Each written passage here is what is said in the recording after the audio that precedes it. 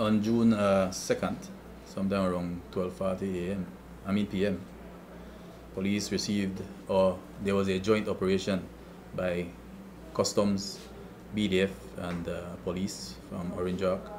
They had received information that there was a vehicle in the Santa Cruz area, um, a white vehicle suspected to have uh, illegal drugs. As a result, the, an operation was launched and the vehicle was intercepted somewhere between Santa Cruz and San Antonio.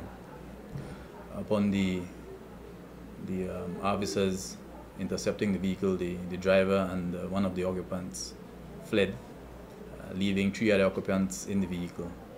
Uh, those three were detained, uh, the vehicle was searched, and six parcels of suspected marijuana was retrieved from that vehicle. Uh, it amounted to 10,653 grams or 24.4 pounds of marijuana.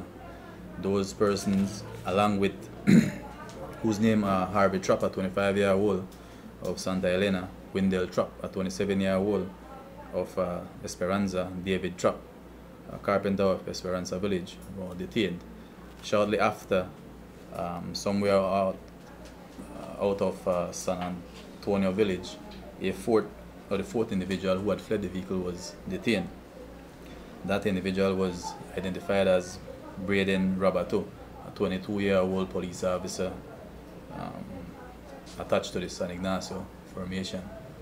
All four individuals were detained and they uh, have been charged for drug trafficking. Will there be any kind of criminal action or disciplinary action? Will there be any disciplinary action against the officer? Yes, of course, that is in process as we speak.